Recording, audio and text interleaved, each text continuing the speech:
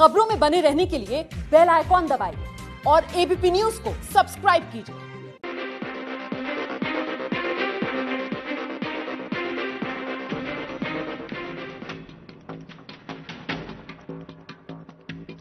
नमस्कार, मैं हूँ दिबांग। शिखर सम्मेलन छत्तीसगढ़ में आपका स्वागत है। और मेरे खास मेहमान, छत्तीसगढ़ के पहले मुख्यमंत्री अजीत जोगी। जोगी जी, आपका स्वागत है। ये बताइए कि एक साल हो गए हैं मौजूदा सरकार को अगर मैं आपसे कहूँ, इन्होंने एक अच्छा काम कौन सा किया? आप इनका विरोध खूब करते हैं, लेकिन विरोधी को भी एक काम कोई अच्छा लगा होगा, वो कौन सा है?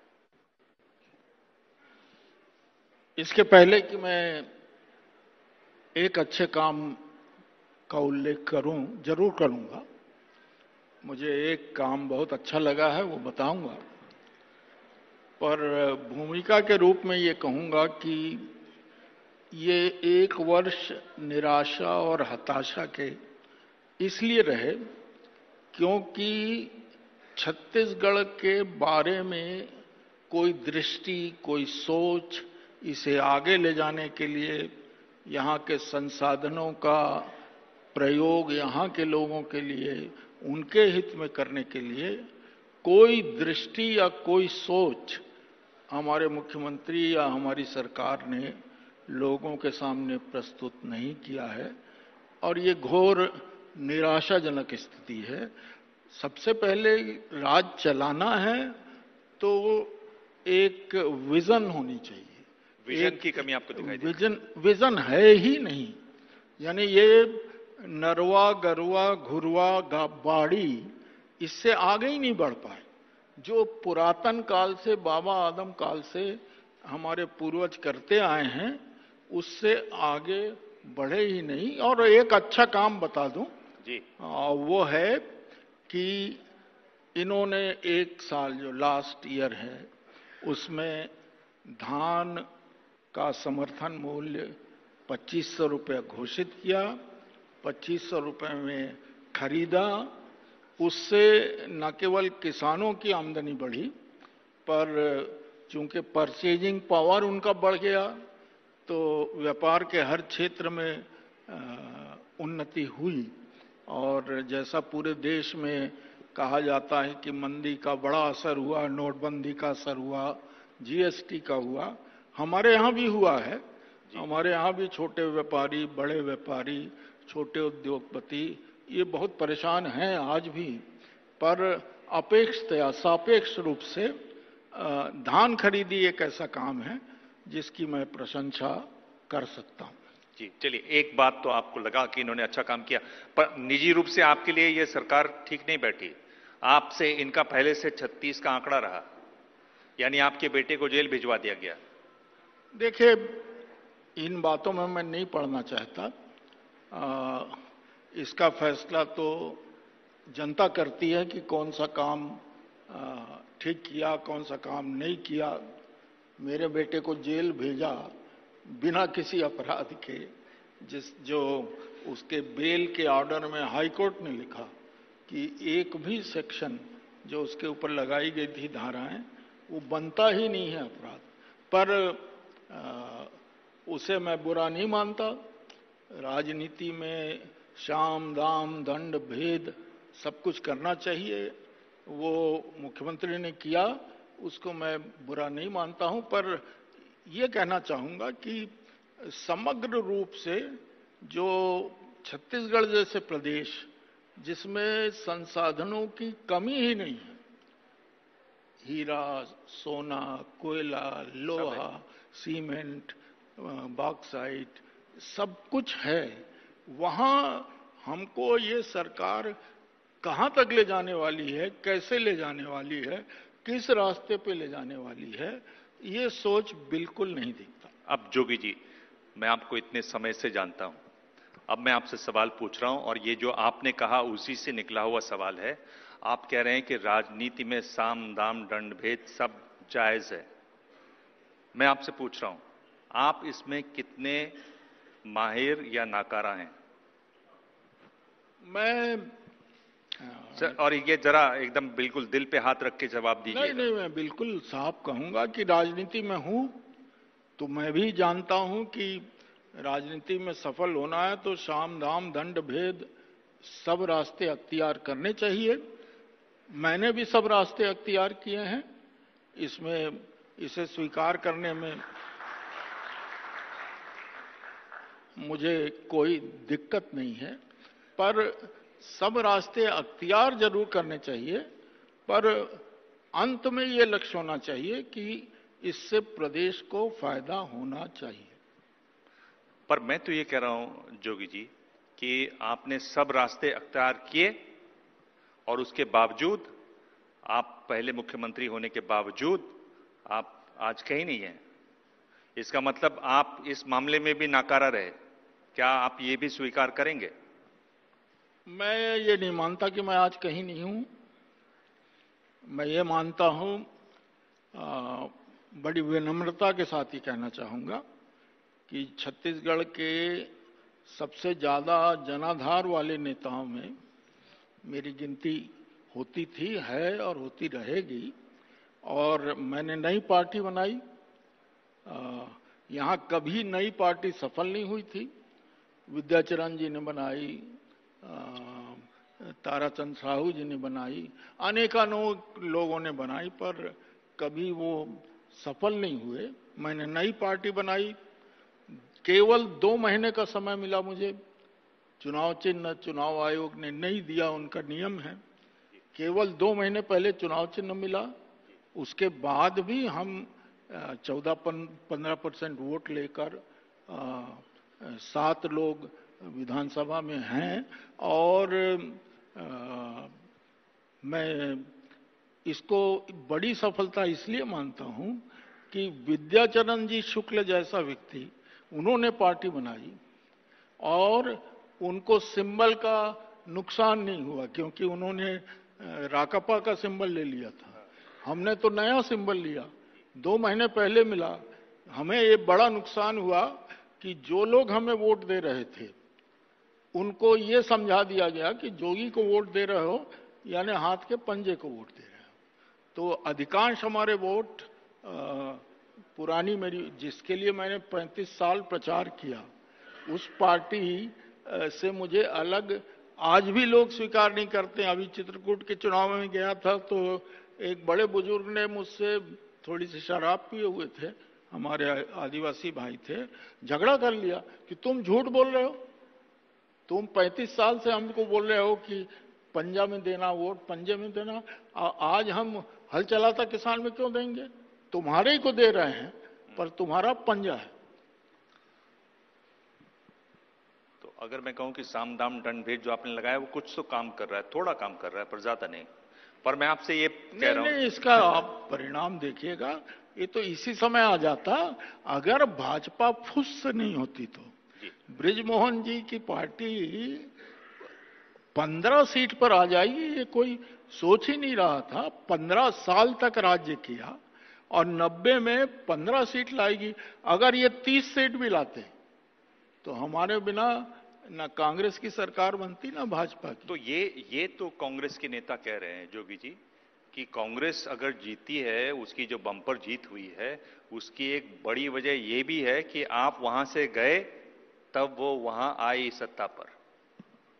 देखिए ये कहने की बात है। इस बार जो भी दिखाई दे रही है। नहीं नहीं इस बार जो जीत हुई है किसी सड़क चलते आदमी से आप पूछ लीजिए ये जीत इसलिए हुई कि 15 साल डॉक्टर रमन सिंह जी की सरकार से लोग इतने थक गए थे इतने निराश हो गए थे कि नेगेटिव वोट हुआ। कि इस आ, सरकार के खिलाफ हमको वोट देना है और खिलाफ वोट उन्होंने एक तरफा दे दिया। उसमें अजीत जोगी के रहने या नहीं रहने मैं रहता भी तो यही स्थिति होती मैं नहीं रहा तो भी यही स्थिति है। वो रहने या नहीं रहने का प्रभाव नहीं हुआ। पंद्रह साल के कुशासन दुशासन या जो भी कहें उसका जो समग्र रूप से प्रभाव पड़ा उसके कारण ऐसा परिणाम आया। रायपुर के अगर आप पत्रकारों से बात करें तो हम लोग दिल्ली से आए रायपुर के पत्रकारों से बात कर रहे हैं तो सब ये कह रहे हैं कि आपके साथ में से दो को छोड़कर बाकी पाँच चाहते हैं कि किसी तरह से आगे से पीछे से चोर दरबारे से ऊपर से नीचे से कांग्रेस में चले जाएँ। ये भाव क्यों है? ये बिल्कुल झूठ है। साथ में दो तो मैं ही मेरे ही परिवार है। जी, इसलिए मैंने कहा कि दो को छोड़ दिया मैंने। अच्छा धर्मजीत सिंह जी ऐसे विधायक हैं जो गर्दन काट दी जाए पर कांग्रेस में नहीं जाएँगे। तो कोई अगर कहे कि साथ में पाँच लोग ऐसे हैं तो उसका सोचना गलत है। केवल मैं सार्वजनिक रूप से स्वीकार करता हूँ कि केवल एक हमारे विधायक श्री देवव्रत सिंह जो अ, कई पीढ़ियों से अ, विधायक सांसद उनका परिवार कांग्रेस से रहा है, उनका सॉफ्ट कॉर्नर कांग्रेस के प्रति है, केवल एक का, उनके संग और कोई दूसरा नहीं।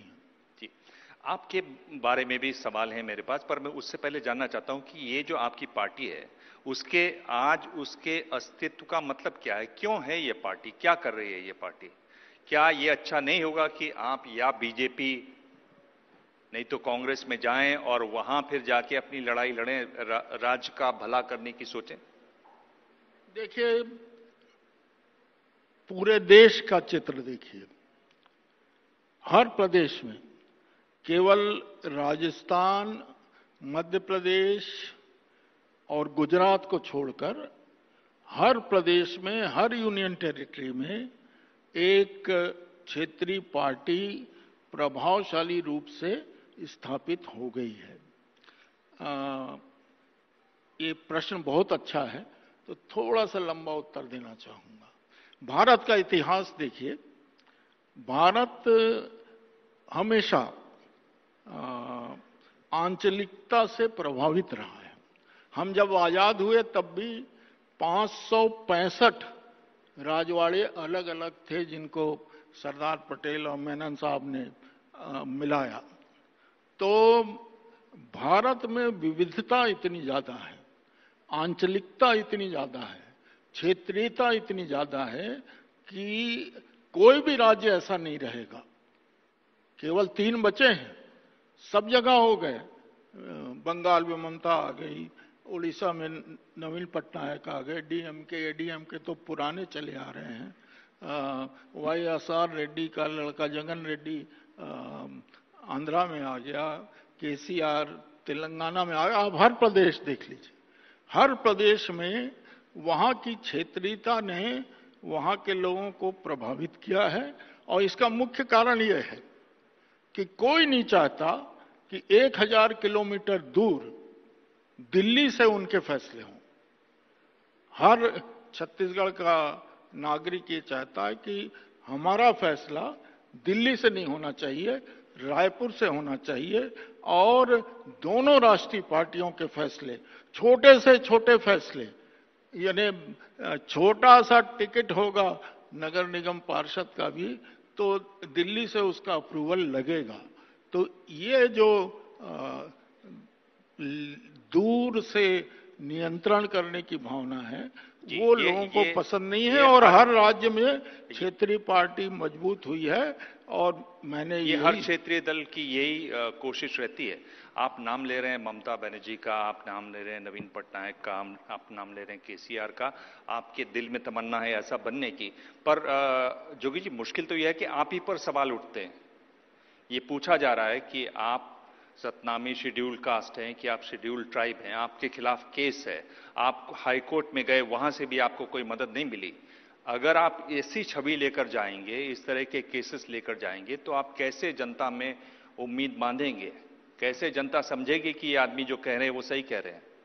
देखिए, जब कुछ नहीं मिला मेरे खिलाफ, मेरे इस 35 साल के सार्वजनिक जीवन में और उसके पहले 17-18 साल के आईपीएस आईएएस के जीवन में, मेरे 50 साल के जीवन में मेरे ऊपर एक भी उंगली भ्रष्टाचार की या गलत काम की नहीं उठी।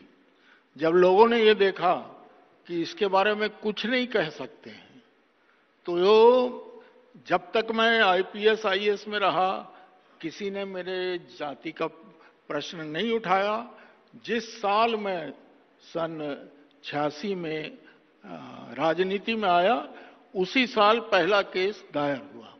और छियासी से लेके अभी तक, मैं सोचता हूँ अयोध्या के बाद मेरा प्रकरण देश का सबसे पुराना प्रकरण है, तिरालीस चवालीस साल हो गए। चार बार हाई कोर्ट के, दो बार सुप्रीम कोर्ट के फैसले मेरे पक्ष में आ चुके हैं, पर कोई ना कोई नया बहाना बनाकर ये प्रश्न उठाया जाता। मैं केवल एक बात कहना चाहता हूँ, जिसको भी मेरे जाति के बारे में संदेह है, उसको मैं निमंत्रण देता हूँ। मैं किराया दे दूँगा, आपको भी किराया दे दूँगा, आपके लिए गाड़ी का इंतज़ार कर, इंतज़ाम कर दूँगा जोगी सार गाँव चले जाइए। जहाँ से मेरे पूर्वज हैं, जहाँ से मैं हूँ वहाँ अगर एक भी आदमी ये बोल दे कि मैं उनका नहीं हूँ तो मैं राजनीति छोड़ने को तैयार हूँ। और मैं ये कहता हूँ कि किसी की जाति का फैसला रायपुर से या दिल्ली से या भोपाल से क्यों होगा? आपकी क्या जाति है, ये जानने के लिए दिमाग की क्या जाति है, ये जानने के लिए हमको दिमाग के गाँव जाना चाहिए। दिमाग के रिश्तेदारों से बात करनी चाहिए। ये तो गाँव वालों से पूछना, दूर हमारी ग्राम सभा एक बार नहीं, चार बार प्रस्ताव कर चुकी है कि मैं आदिवासी हूँ। पर हर बार कोई ना कोई नए बहाने से, क्योंकि मेरे ऊपर कोई दूसरा आरोप चुनौती के साथ कहता हूँ, लगा ही नहीं सकता। कभी किसी बहाने से, कभी मैं चुनाव लड़ता हूँ तो चुनाव याचिका में ये प्रश्न लगा देते हैं। जोगी जी, आप मुख्यमंत्री रहे, आप साम दाम दंड भेद की बात करते हैं खुलकर, फिर भी ये मामला आपके साथ चिपका हुआ है, आप ये भी मान रहे हैं? मैं ये भी मानता हूँ कि ये मामला राजनीति में होने के कारण मेरे बेटे के साथ भी चिपकेगा। और अभी तिरालीस साल हुए हैं, पचास, पचपन साल, साठ साल में भी इसका अंतिम निराकरण नहीं हो पाएगा। मैं अमित को बोलता हूँ मैं तो लड़ा इतने साल और वकीलों के फ़ीस में करोड़ों रुपए खर्च भी हो गए। पर मैं आपसे और उसको भी लड़ना पड़ेगा। नहीं मैं आपसे जो इसमें जो बड़ा सवाल एक पूछना चाहता हूँ कि जब इस तरह के सवाल खड़े होते हैं तो संदेह तो पैदा होता है आपके बारे में? ये तो आप मानेंगे आज ईमानदारी से? देखिए राजनीति में मैं तो कहता हूँ एक बात कहता हूँ जैसे आपने अभी कहा कि अगर मैं कंवर आदिवासी नहीं हूँ तो मेरी जाति बता दी जाए। देश में, भारत में एक भी ऐसा व्यक्ति नहीं है जिसकी जाति ना हो। आज की स्थिति में भारत में केवल अजीत जोगी ऐसा व्यक्ति है जिसकी जाति ही नहीं है। कोई भी फैसले में ये नहीं कहा गया कि आप अगर आदिवासी नहीं हैं तो फलानी जाति के हैं। आपने कहा सतनामी, मैं शहर स्वीकार कर लूँ। मेरे को मेरे पूर्वजों का बता दीजिए। मेरे दादा कौन थे परदादा कौन थे उनके पिताजी कौन थे? आप मुझे कोई ब्राह्मण कह दे कोई छत्री कह दे कोई वैश्य कह दे कोई शूद्र कह दे कुछ तो कहे। ऐसा कैसा हो सकता है कि अजीत योगी की जाति ही नहीं? चलिए आगे चलें राष्ट्रीय राजनीति की तरफ़ देखें। तो ये जो नागरिकता वाला बिल है उस पर आपकी क्या राय है? देखिए मैंने तो स्टैंड ले लिया है। मेरी पार्टी ने स्टैंड ले लिया है कि हम इसका विरोध करते हैं। विरोध करते हैं। मैं इसका विरोध एक दूसरे परिवेश में करता हूँ जिस परिवेश में दूसरे लोगों ने नहीं किया। मैं ये मानता हूँ कि कोई भी कानून चाहे जितना अच्छा कानून हो तब तक उसको सही कानून नहीं कहा जा सकता जब तक उस कानून को जन सामान्य स्वीकार ना करे। यह एक ऐसा कानून है। हो सकता है जो कारण बताए जा रहे हैं उस, उसके कारण ये अच्छा कानून हो। पर भारत के जन सामान्य में सब जगह गाँव में मैं गाँव से अभी आया हूँ गाँव में भी शहरों में भी पूरे भारत में एक बात फैल गई है कि ये कानून गलत है। इस कानून के कारण हमारे अल्पसंख्यकों अर्थात मुसलमानों के साथ अन्याय हो रहा है। ये लोगों के दिल में बात जम गई है। और जब कोई बात लोगों के दिल में जम जाती है, कानून अच्छा हो सकता है। हो सकता है कानून में मुस्लिम भाइयों के प्रति कोई भेदभाव ना हो, पर एक जनसामान्य ने मान लिया है कि इस कानून से भेदभाव हो रहा है। और विशेषकर जो हमारी नई पीढ़ी, जो छात्र हैं नौजवान हैं वो इससे बहुत उग्र हैं। जी। अगर मैं आप, आपसे सवाल पूछूँ आखिरी सवाल और एक शब्द में उसका उत्तर देना हो तो आप वो आप क्या देंगे? और मैं आपसे पूछ रहा हूँ कि अगर आपको मौका मिले और आपकी पार्टी का मर्जर अगर बीजेपी से होने की बात हो और कांग्रेस से होने की बात हो तो आप क्या चुनेंगे? दोनों में से कोई नहीं। आपने छोटा उत्तर माना मांगा हाँ, पर आपने समय लिया थोड़ा। दोनों में से कोई नहीं दोनों में से कोई नहीं। क्षेत्रीय पार्टी मैंने बनाई क्यों? कांग्रेस में क्या मैं खुश नहीं था? कांग्रेस में मैंने जब कांग्रेस छोड़ी तो कांग्रेस कार्य समिति का गुलाम नबी आज़ाद के बाद सबसे पुराना सदस्य अजीत जोगी था।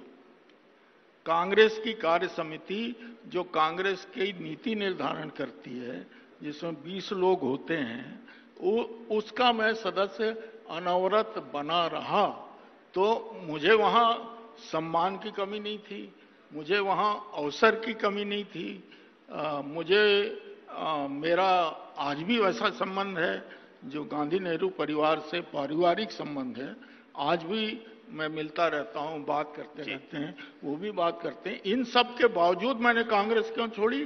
क्योंकि मेरा ये निष्कर्ष निकला कि छत्तीसगढ़ जैसे प्रदेश को अगर आगे ले जाना है तो क्षेत्रीय पार्टी बनानी चाहिए जो केवल छत्तीसगढ़ केंद्रित नीतियाँ बना सकें योजनाएँ बना सकें। जी। तो दिल मिलेगा पर दल नहीं। अजीत जोगी बहुत बहुत धन्यवाद। आपने सारे सवालों के सीधे सीधे जवाब दिए। टेढ़े मेढ़े सवालों पर भी आपने करीब करीब सीधे सीधे जवाब दिए एबीपी न्यूज़ पर जारी है शिखर सम्मेलन छत्तीसगढ़। ये तो दिमाग जी की आदत है। मैं आपको तीस साल से जानता हूँ। आप टेढ़े सवाल जब मैं प्रवक्ता था संतानवे अंठानवे से लेकर 2000 तक तब भी आप टेढ़े सवाल करते थे और तब भी मैं आपका सीधा जवाब दिया था, आज भी आपने वही किया। और इसी कारण आपकी और मेरी मित्रता सदैव बनी रहती। धन्यवाद। धन्यवाद। Thank you